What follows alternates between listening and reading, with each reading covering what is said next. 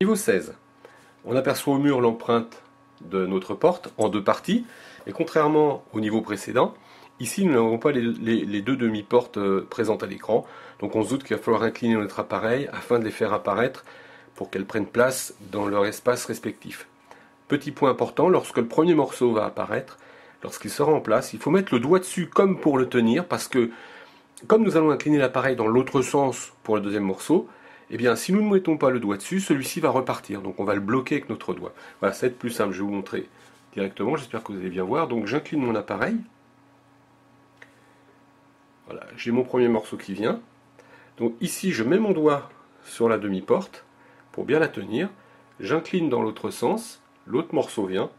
Voilà, ma porte est entière. Elle s'est soudée. Je peux passer au niveau 17.